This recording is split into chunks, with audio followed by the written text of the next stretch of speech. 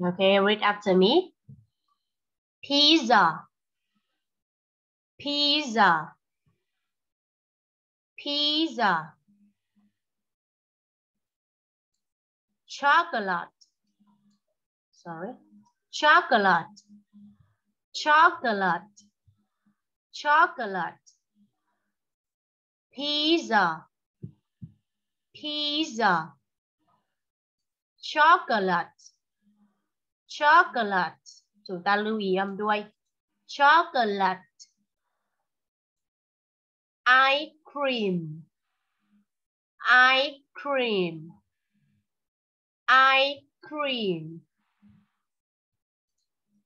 Cake. Cake. Cake. Cake. Fries. Fries. Fries. Nhớ âm đuôi cho cô nhá. Z. Fries.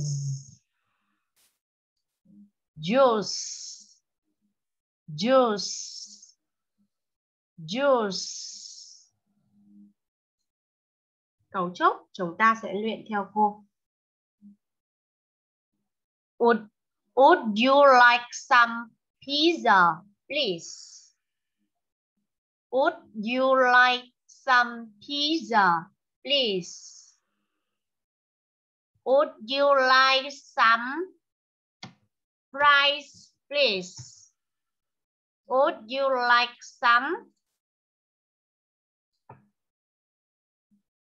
Okay. Would you like some fries, fries, please? Cách trả lời thứ nhất. Yes, please. Yes, please. Đồng ý. Cách trả lời thứ hai đó là từ chối món ăn. No thanks. No thanks. Hoặc no thank you. No thank you. Ok, một lần nữa về cấu trúc ạ. À. Would you like some fries?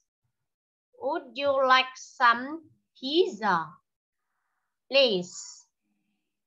Would you like some juice, please? Would you like some?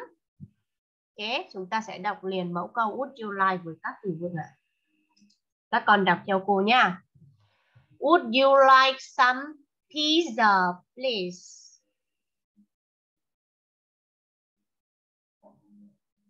Would you like some chocolate, please? Would you like some ice cream, please? Would you like some cake, please? Would you like some fries, please?